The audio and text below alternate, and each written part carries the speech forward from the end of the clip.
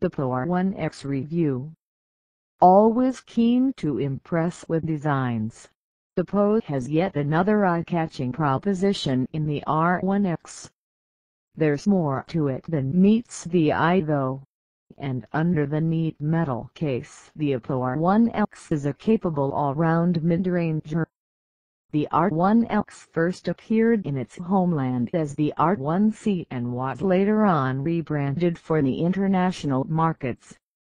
International has dubious meaning, as the device remains elusive outside of Asia. Even there it's pretty hard to find in online stores.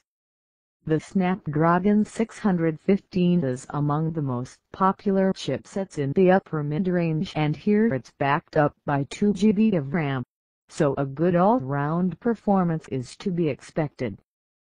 The Oppo R1X Review Always keen to impress with designs, the Oppo has yet another eye-catching proposition in the R1X.